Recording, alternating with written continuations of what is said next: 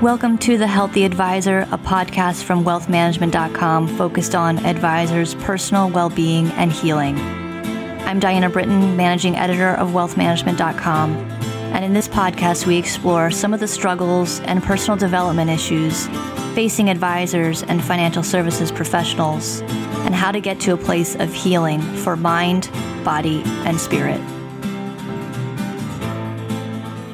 Hello, and welcome to the latest episode of the Healthy Advisor podcast. And thanks for joining us. As you may know, this is the podcast focused on financial advisor health and wellness. And today's guest is currently on his own journey to achieving just that. Uh, his name is Jonathan DeYoe. He's a senior vice president at EP Wealth Advisors in Berkeley, California. Jonathan, thank you so much for being on the podcast. Oh, thanks for having me, Diana. I'm excited for the conversation. Yeah, same here. So, um, so growing up in finance with uh, financial insecurity, today Jonathan seeks to help others attain the confidence of being on the path to having enough. Uh, his first book, Mindful Money, was published in 2017, and he's also the host of the Mindful Wealth Pod. Definitely a great one to check out. Um, but a little over a year ago, Jonathan was in a really healthy place. Um, was meditating, working out, uh, eating and sleeping right, and then you know sort of thrown into tragedy when he lost his only brother and business partner. Um, they were working on a, a, new business venture when his brother David passed away. Um, and since then, you know, Jonathan Jonathan's sort of been on a journey to rebuild those healthy habits after experiencing these this huge loss um, you know, but this wasn't the first time he struggled to get a healthy lifestyle. And so we're going to talk about all that today on the podcast. And um, he's sort of going to open up about his experiences. Um, so, but Jonathan, let's start off. I mean, take us back a little bit, you know, and tell us about your childhood. I knew you grew up in in Rapid City, South Dakota. Um, and so, what was that like? What was uh, what was it like growing up there? Uh, so, so the, I mean, the reason we were in Rapid City, South Dakota is is interesting. My my dad actually worked for a before I was born. My dad worked for a computer company in you know Silicon Valley. This is back in the vacuum tube days uh, of computers, and he they quit their job or he quit his job, and, and he and my mom moved to Rapid City. You know, to live in a small town, a safe place, a slower pace. Um, neighbors were all close. You know, the kids were all over the community and and just so so that was my childhood like i was a kid and my childhood was outside camping fishing boy scouts soccer baseball you know all rec not not like today's competitive stuff mm-hmm. it was a pretty amazing place to grow up that being said when i was 2 my my parents big business idea crashed and there wasn't mm-hmm. really a steady income in my house until i was 15 my parents lost probably seven rental properties, ate a bunch of rental properties, went back to the lender. We struggled financially my entire life. You know, I didn't get the cool dirt bike. I didn't get new skis. I didn't get, I got plastic soccer shoes from Payless. Um, you know, so, so I, I, I was raised with this desire for more, desire for stuff because mm. I didn't mm. have anything but I loved it. Like I loved all the stuff I got to do. But I did, you know, my mom and I had lots of conversations in the last few years just about how sensitive I was to having to having less than my peers. And that that was that hurt. And that that carries forward to today. Mm. And so how did you ultimately get into the financial services industry? Uh, circuitously. So if, if, you if people talk to me, you know, my friends in high school would have said that this is where I would have ended up. Um, they they already knew this, and maybe I already knew it as well. Um, perhaps because we didn't have anything, like I was fascinated with money, and I was I you know I was the kid in grade school, third grade, who who bought you know a pack of gum for I guess probably 20 cents then and then and then came to school and sold them for 25 cents a piece, right? And so I I was making money when I was six and seven and eight and in, in grade school. By the time I was nine and 10, I was reading value line research in um, a broker's office wow. in downtown Rapid. So I ended up buying my first stock when I was nine or 10 years old. You know, it was First Bank System. And it was, I think today it's part of Minneapolis State Bank or a bank in Minneapolis, but uh, this was 1980. So just before the S&L crisis. So my first stock investment, I lost probably 50% of the, of the investment. I know I probably invested a couple hundred bucks and that came out of it with a hundred bucks, something like that. but as a kid, I was very money motivated. I always was running my own business. I was always fascinated by the markets, and, and I and I loved studying economics. My the only scholarship I got in college was from my high school economics club. You know, I got a five hundred dollars scholarship, um, and I and I and I love studying economics. Um, and I started in college studying finance, mm-hmm. but got really bored really quickly. So I ended up changing majors. I, I talked to my my favorite professor at the time was Dr. Allard, Jim Allard, and he was teaching my philosophy class. I went to office hours with him and I said, you know, what do you think about you know job possibilities or or what do you think about majoring in philosophy and religious studies and with his support and with support of a couple other professors I ended up shifting from finance which was the likely long-term goal likely long-term job prospect for me to philosophy and religious studies I came to ended up coming to uh, Berkeley to study at the Graduate Theological Union. I came, I started out as a Lutheran seminarian. I switched to sort of Buddhist academia. And at that time, my first wife, who had been supporting me through grad school, said it was her turn to go to grad school. And so I dropped out of a program in Buddhist studies. Now, you know, dropping out from Buddhist studies there's there's no there's no job track for that. Uh, Where so I from there? Yeah. Exactly, no place to go. So I went I went to I applied at Dean Witter, and Dean Witter was hiring for sales, and I became you know I became a broker, and that's that's how I got into um, the financial services world. And I was there. I was on Wall Street firms, a variety of Wall Street firms, learning lots of different lessons from I think that's 1996 to maybe 2001. Hmm. And Dean Witter, they have a really good reputation, right? A, a, very good culture. And I don't know, what was the culture like there?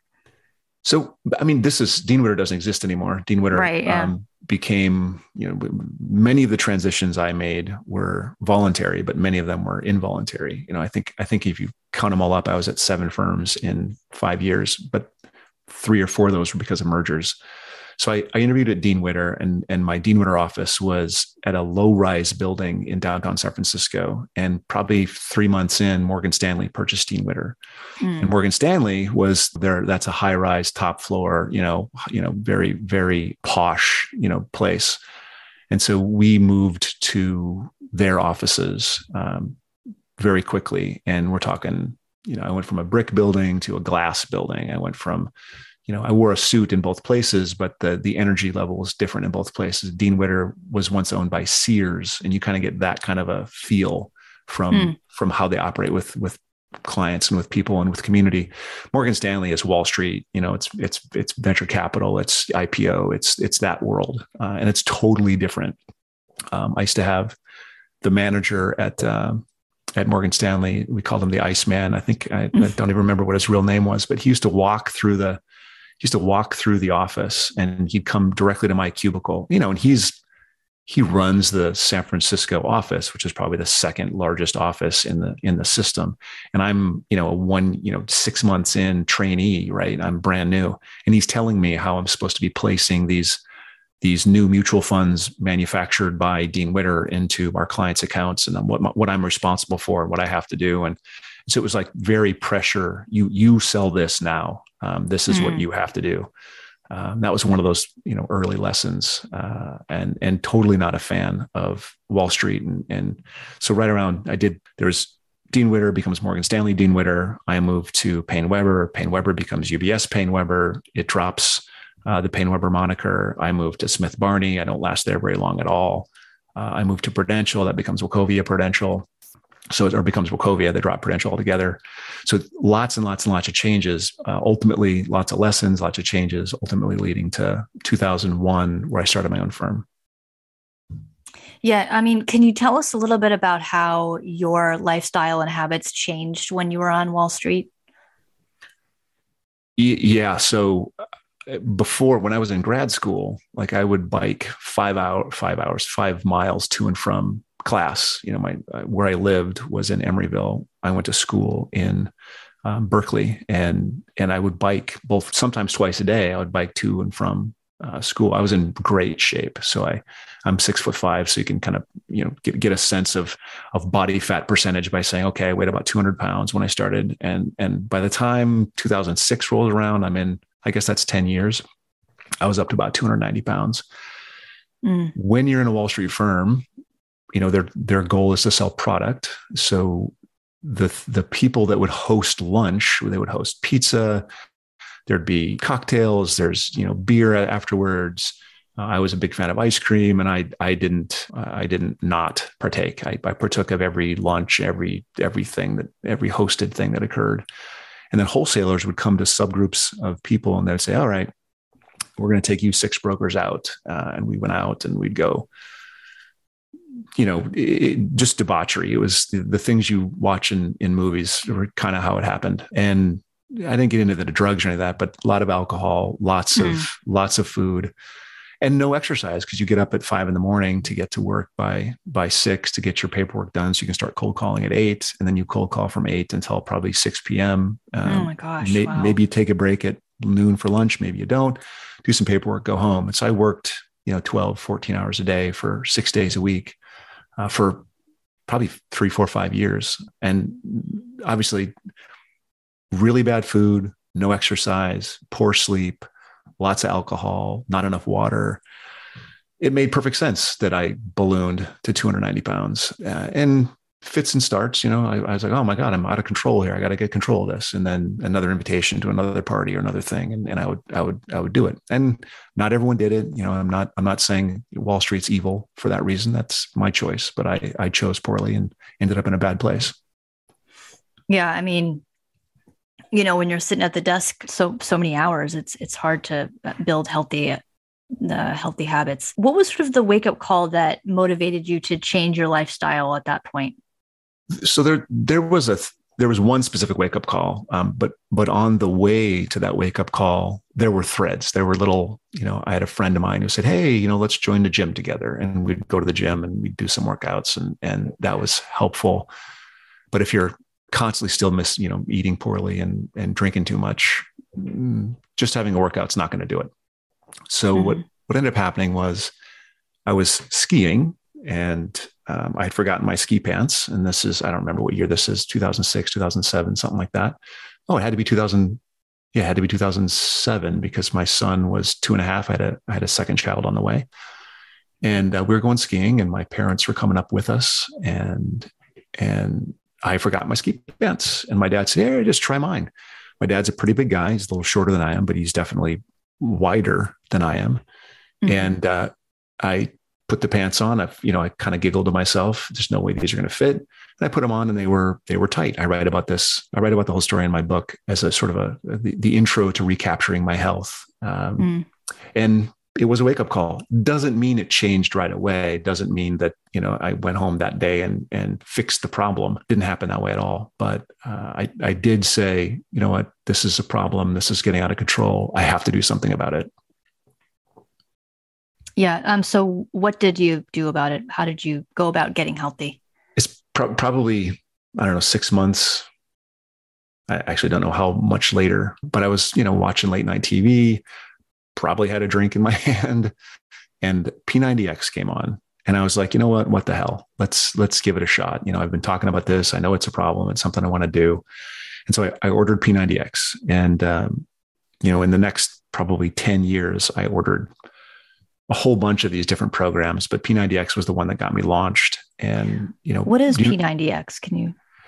P90X, yeah, yeah, it's um, it's one of these workout programs you see at late night TV where there's there's a guy I think his name was Tony Horton and he's jumping up and down and he's lifting you know dumbbells and there's three people behind him uh, you know different levels of fitness and they're just they're just doing this they're just doing this program the program is like it's high intensity interval training and so um, you know one day it's it's back and by the next day it's cardio the next day it's it's um, um, chest and chest and legs or you know i don't remember what the breakups were but it's just this every single day you have a dvd you pop the dvd into your computer or your you know dvd player and you just watch it and do what they're doing. And in the in the beginning uh, stages you know i'm at i'm at 290 pounds. They're about they're 45 minutes to an hour and 15 minutes each I'd make it five minutes before I'd pass out. Like like I couldn't I couldn't do five minutes. I couldn't do 10 minutes, but mm-hmm. I, I never stopped. I just kept putting it in kept putting the DVD in, kept hitting play. I'd go for my 10 minutes. I'd be a sweaty mess. Uh, I'd, you know, lay down and try to breathe for a while. And then the next day I'd put the next DVD in and, and do it. The interesting thing that happened for me was the fact that I was hurting myself doing P90X cleaned up my diet. Like I, why would I work at cross purposes? Because this sucked horribly. This was so hard. This was painful. This this was no fun. So I could stop doing that and just go straight back to pizza and pizza and beer, or right. I could keep going forward with this and I could maybe get healthy again. And what I started noticing, and this is probably after a couple months of, of battling it, I started noticing my flexibility was improving, my um, energy level was up. I noticed that uh, my strength was up. I could last, you know, 30 minutes of the 45 minute workout. I started feeling better about myself. And so, you know, I kept, I kept powering forward. I've never gotten back down to 200 ever in my life, but I did get back down to 220. I do think that the, you know, the, the health is not all about weight. So I, I think that I was healthier at 220 than I was at 200. Um, you know, I wasn't as skinny, but I had mus, you know, my musculature was, I was much stronger. I could, I could do more things. It wasn't just all one, one muscle group. It was, it was the entire body. It was every, everything in the package was improved by cleaning up the diet, by drinking less, and by just just hitting play on the DVD. By the way, you know, since then I've tried so many different programs, and there's so much free stuff on YouTube. One, you don't have to buy the thing or subscribe or become a member of Beachbody or, jo- or join P90X or anything like that. This stuff is free. The high intensity interval training is available. Um, you just have to go to YouTube and look up 30 minute workout, and they'll find you can find you know 50 different options find the one that works for you. Yeah sure. That's great. Um, so had you started your own firm by that time? When you started getting healthy? Yeah so this is my i started my firm in 2001 end of 2001 early 2002 so i was okay. probably five years uh, five years into my firm. And and i think i had i think i had stopped you know and started my own firm the hours didn't go down but the level of alcohol intake went down, the level of pizza intake went down because I wasn't I wasn't in an office where that stuff was just around all the time. Um, and right, so yeah. some of the some of the life, and I was I was married, and and and Kate is you know Kate you know these people influence us, and my wife Kate is she is healthy and she puts her health first, and she eats very very well. So it was really easy to kind of adopt, or at least partially adopt some of those habits um, with her. Didn't didn't lose the weight, didn't take it off until I started doing P90X. Yeah, that's that's really important to have a partner on board. So take us back to to last summer. What happened to your brother? I know that was sort of a yeah, you know, just a tragedy. Yeah. Um, so I guess I guess from the time of getting healthy to this is probably 14, maybe 15 years. Mm. And and so in that time, I had developed just an incredible, dedicated, you know, morning routine. And all right, I'll just say it. My my my my brother drowned uh, on June seventeenth in the Pacific Ocean, just south of Santa Cruz, and you know, my life basically came to a screeching halt the next day. Um, or that day, you know, when when Judy called up and said, you know, hey, there's a problem uh, I can't tell you right now. I got to go. And I was like, oh my God, what happened? And then she called back 10 minutes and they said, they said they were bringing Dave in from the water and he wasn't breathing and she was going to go to the hospital and she'd call me from the hospital. So I sat on that for a little bit longer. And, um, you know, just, I was just screaming like I was alone in my house. And I was just like, I, you know, he's not breathing. They brought him in from the beach. You know, you know, I didn't know what was going to happen. He's going to the hospital. You know, there's a little bit of hope, but not much. So I just was, um, I, I, fell apart right then and there.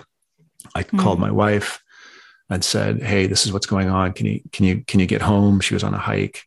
She lost it and she was screaming. I said, "I can't deal with this right now." And so I, I hung up on her and just went back to being alone. I got the call back from Judy, um, and and she said, uh, "Yeah, Dave Dave didn't make it." And oh um, and you know, the next, I don't know, two or three weeks, I tried to, well, I, you know, I, I let people in the office know I'm not, I'm not coming in tomorrow.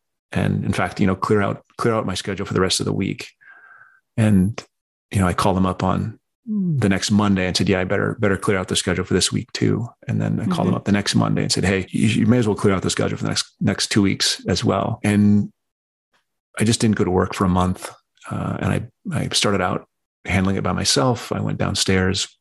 My you know we're all working from home at this point, and so I had this office downstairs, and my my workout stuff's in the office. My my desk and books and everything is in the office. So I just come downstairs when I woke up before everyone else woke up, and I wouldn't you know, I wouldn't work out. I didn't meditate. I tried to sit down. I tried to meditate. Um, I just, I just couldn't, I couldn't calm down. Like I, my mind was just going, going, going, going, you know, doing the, doing the standard, I guess, uh, Elisabeth Kubler-Ross stages of grief, you know, denial, know, spend a lot of time just walking around my neighborhood, yelling, um, just sitting in my basement, crying. Um, and I tried really hard to handle it by myself I'd, you know, cry alone for hours. And then finally I had a, you know, I had my, I don't know which an anxiety attack or a panic attack. First one I've ever had. And then I just kind of realized that I, just, I wasn't going to be able to do this on my own. I asked for help and mm-hmm. said, Hey, um, to Kate and, and my kids, I'm a mess. Uh, it'd be great if every now and then y'all would come down and check on me because I'm, I'm literally just, just hanging out on my own by myself. And not being able to focus, not really doing anything, just just sitting and crying for hours and hours and hours. Mm. Yeah, I know. You know, I know. Uh, you know, you and I were talking. There's there's not a lot of support for um, folks going through death of a sibling. Um, you know, right. and, and it's it's such a unique um, relationship in your life. I mean, it's um, you know somebody that has that sort of shared experience uh, of growing up with you you know it's m- more difficult than in a lot of ways to deal with um, so how did you sort of what made you kind of realize that you needed help and and you asked for it? I know that you um, you know you were telling me that you're sort of always the one helping other people.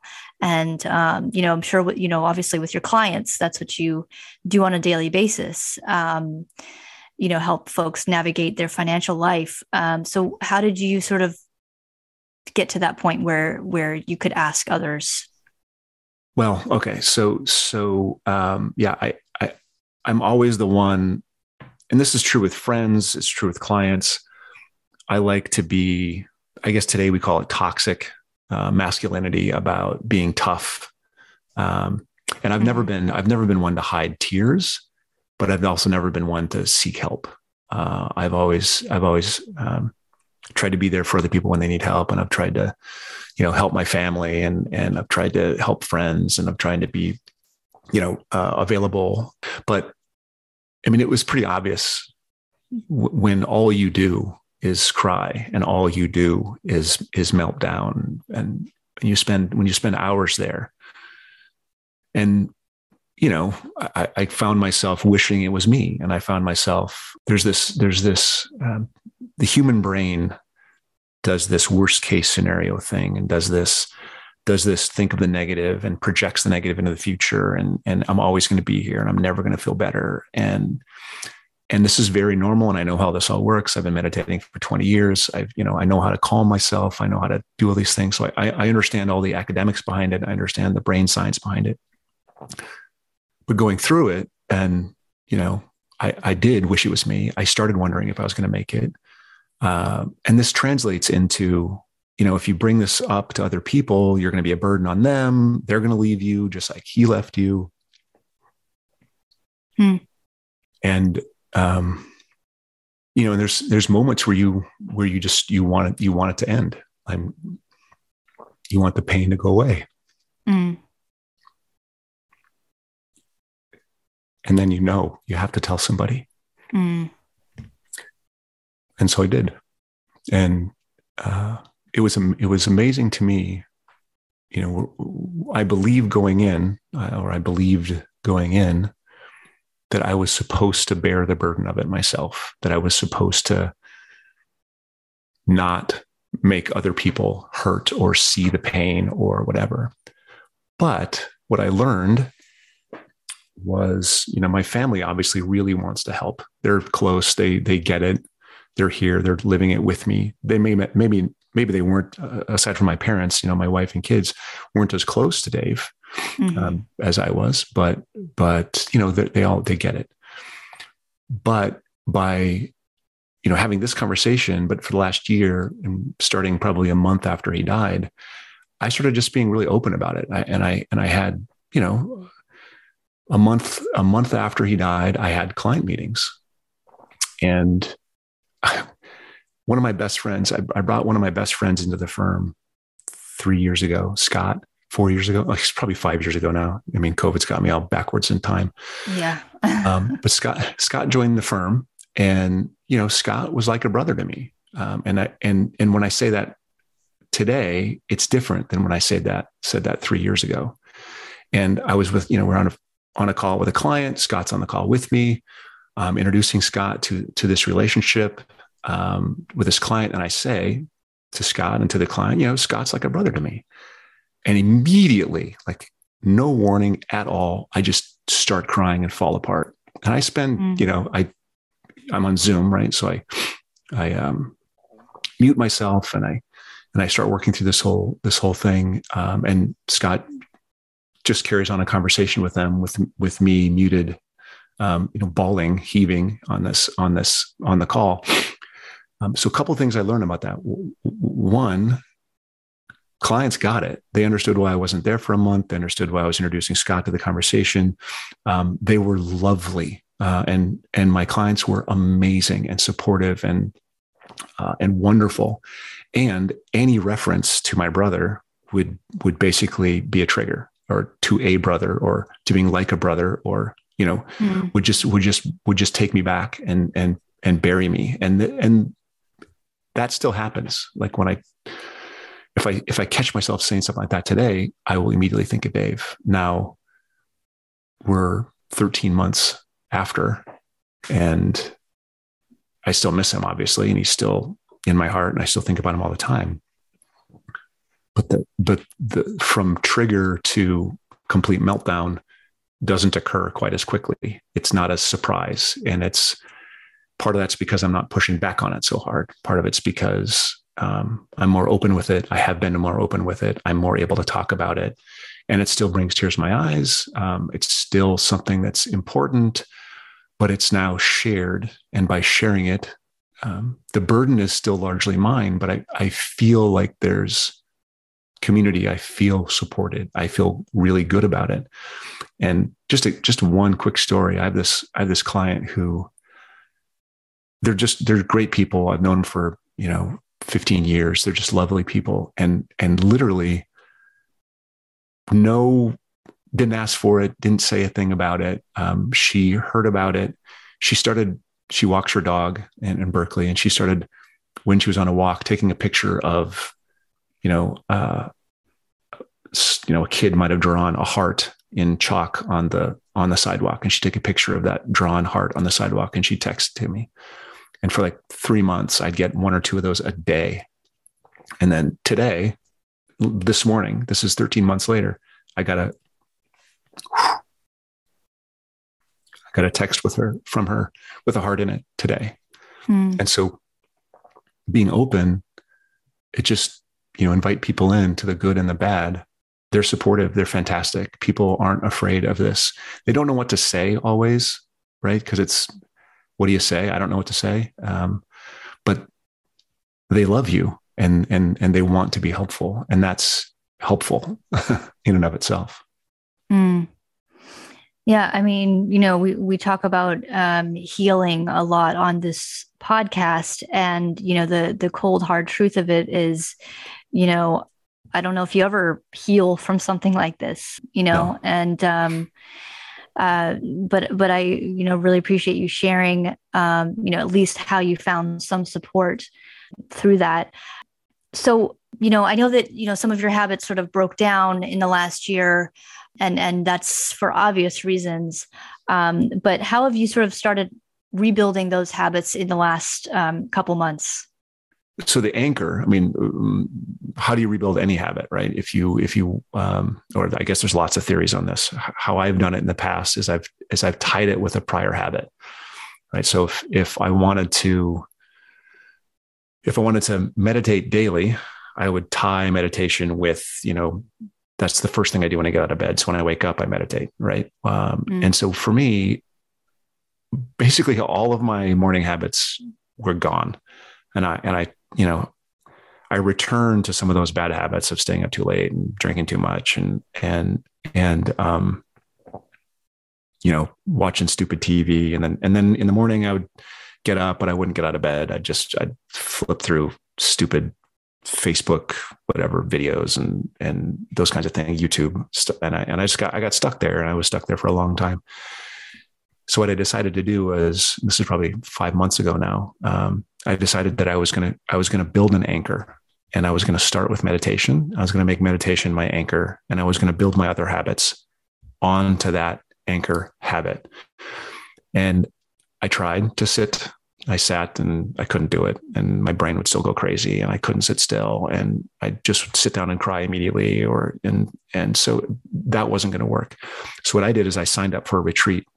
And one of the, one of the people I've followed for a long time is Tara Brach. And Tara talks about trauma. She talks about loss and she talks about grieving. And, um, and so I, I found, uh, she was involved in a live, in other words, in person on land, you know, people coming together um, retreat called the um, Power of Awareness, and it was it was hosted two weeks ago, three weeks ago, and so I signed up for it a couple months ago, and I and I went, um, and when I went down there, like I didn't know nobody, I didn't know anyone there. I've never done this before. I haven't been this. I call this sort of sort of pop pop meditation. You know, it's it's not the stuff that I learned when I was at the Institute of Buddhist Studies and I was working with monks and I was, you know, I, I went to the to the Berkeley um, Zen Center on a, on a daily basis. Like it wasn't that. This is this is a bunch of Westerners who studied under these those people and and sort of modified the teachings to be more secular. Mm. No problem with that at all. But I, I'd never done this before, and so when I went, I was in a I was in a group of people that I've never been among before. Um, um, they weren't academic students of the discipline of meditation. They were what turns out exactly what I needed. Like this wasn't the first day I learned this, but by the third day, I had met, you know, a woman who whose husband had committed suicide. I had met uh, people who had lost parents. I had met people, who, many, many people who are going through divorce. Many people who lost, um, you know, their best friend, and just so many people dealing with stuff. And so every little group conversation or session that we had, there was like an outpouring of, oh my gosh, I'm sorry that happened to you, to me. And at the same time, to three other people in the group I was in. It was weird at first because people were there in couples, there were people there with friends, and I was there alone. So I, I had a hard time meeting people and chatting with people. But I, sitting in the classes and, and sitting with meditation instruction and just and just sitting, I got what I needed out of it. And that was when I came back, I was able to sit. So, you know, at one of these retreats, you get up at 6:45 in the morning and you go do a yoga stretch kind of a thing with one teacher, and then you go have breakfast. And then at nine o'clock, sessions start. And so from nine o'clock a.m. to nine o'clock p.m., you'd either be in session, meaning you'd be getting meditation instructions, or you'd be meditating, or you'd be at a meal. And so wow. it was 12 hours a day for five days of meditation and meditation instruction. Uh, and those meals were social, where you talk to people and you'd learn about other people that were suffering. And not everyone is suffering. Some people are, are there to learn how to teach, some people are there for whatever reason. But I got exactly what I needed. I reestablished the practice. And so when I came back, this is two weeks ago now, uh, I sat the very next day for 30 minutes. And I sat the next day after that for 30 minutes. And I sat the next day after that for 30 minutes. And so that the habit of meditation is there. And so now I'm working to bolt on um, working out. And mm-hmm. right now that's fits and starts. You know, I, uh, I try to either do some kind of um, resistance training or go for a long walk uh, every single day. And I'm probably at five, four to five days a week of being successful at that. You know, this morning, I think perhaps anticipation in anticipation of talking about this, I didn't get out of bed. Like I, I didn't get out of bed in time. And so I did my meditation, but I didn't have enough time then to um, get a workout in before I started working.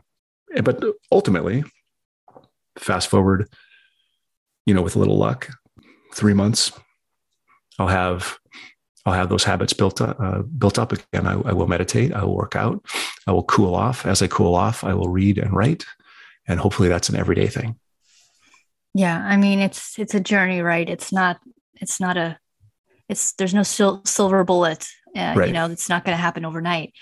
Um, so I mean, I know that we're we're running out of time here, but I wanted to I wanted you to talk uh, just a little bit about um, you know sort of the work that you're doing now and sort of how um, you know I know you were working on a, a joint venture with your brother um, you know prior to his passing, um, and that sort of has has led you to to where you are now.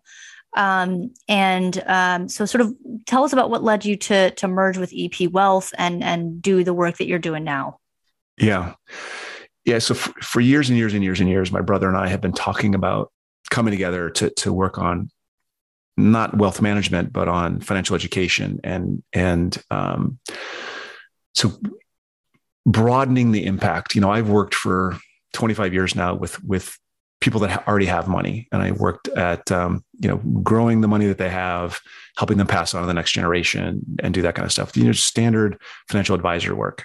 Mm-hmm. He has worked in a technology space on things that have um, lower revenue per transaction, but but reach many, many, many more people. And he's worked in credit space, the debit space, the the um, the uh, mortgage lending space, uh, and and the the the ways that he did outreach would enable. Um, I think I thought we thought together um, the ability to provide financial education on a much broader scale for a much lower price. Mm-hmm. And for the last 15 years, the practice I've run has basically been driven on, you know, what is it can what what can an advisor do? An advisor can plan and educate. An advisor can help people plan and educate. I, I don't believe in, you know, our ability to time the market or predict the future relative performance of investments. I, I, just have never believed in that. Well, that's not true. Early when I was at Wall Street, I did believe in that, but I, I sort of shocked myself out of that belief by screwing up a whole bunch of times. Mm-hmm. Um, but so I think with education and with planning, you know, we can help people. I was going to take, we were going to take that education and planning message and broaden it out and have a greater impact with many, many more people, you know, sort of open up the advisory world to help people that don't have access to advisors. Um, mm. You know, lower net worth people, people um, coming coming back after a, a, health scare or losing a job or, or whatever it might be. And we had actually started a company in 2006 to do this, but we had to mothball that company because we both had little kids, so we didn't have time to do it. Um, and we were getting to this point where, and in in 2018, 19, I was I you know, I'm not a technologist. I'm not an HR professional. I'm actually not even a CEO. I'm an advisor. So I work really well with clients. I'm not as good at all the business stuff. He's got an MBA. He had an MBA from Cal. And so we had this, we were going to do it once his last vesting, his, you know, his last tranche of stock invest, uh, vested. And that mm-hmm. was March of 21. Uh, and so it vested. All right, let's let's figure out these details. Well, you're going to come on. You know, Dave's going to come on as a CEO. He's going to handle HR. He's going to handle operations. He's going to handle all of these things. Um, but we never get there because in June of 21 he dies, and so he dies June of 21. I take a month. Just you know, I'm not doing anything. Um, I I realize that I'm never going to be able to do put in the time and effort and energy that I put in, you know, before he died in doing the same job that I was doing before, I realized that I have to find uh, some place that'll take HR technology operations off my plate.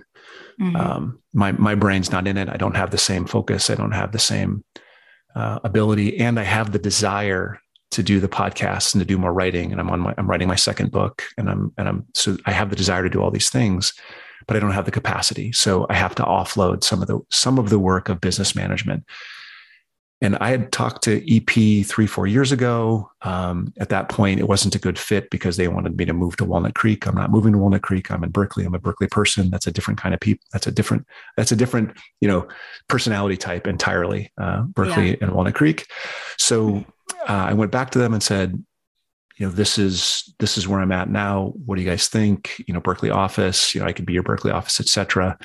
Uh, at the same time, I hired an M&A firm. They introduced me to 15 other companies that I could talk to. I talked to six of them very, very seriously. And by the end of 21, I had I had made the decision and I'd completed the merger with EP. Um, and so today, you know, I guess three months after that, so by March of 2022, I had launched my second podcast, the Mindful Money podcast. I've been doing the Mindful Wealth podcast for a while, but the Mindful Money podcast is sort of that's the vision that he and I had together. This is this is education. This is simple stuff um, uh, that most people maybe don't have access to, or questions that are hard to answer that that help people focus on the decisions they should be focused on, rather than focus on the stuff that the financial press or or or um, no, not that they're all bad, but a lot of it is self, you know, self-interested, um, and the product manufacturers are trying to tell people to think about. And so, so I'm able to do it. I'll never have the scale. I'll never have the reach that I would have had with him, but I can actually take some of that message and package it in a different way and offer it out there to the world. And to those people that are takers, you know, uh, I'm I'm excited to offer it, and I'm excited to be doing it. At the same time, I really like working with my clients, and I'm really glad to have a home for them that gives me the support uh, and offloads and takes care of some of that stuff that I'm not a I'm not good at, b I don't have fun with. Yeah, well, that's that's great that you're able to you know sort of honor his memory that way. Um, well, I, am afraid we're just about out of time, but I'd like to thank my guest Jonathan DeYoe for being on the podcast, and and Jonathan, just thank you for um, you know, just being so vulnerable and and opening up about um, what you're going through. We really appreciate that. Thanks for having me, Diane. I appreciate it. And if you'd like to reach out to Jonathan, if you have questions for him, uh, just feedback, you can reach him at jonathan at mindful.money. And if you have a struggle, uh, you wish to share your experiences and help others in similar situations, please feel free to reach out to me at diana.britton at informa.com.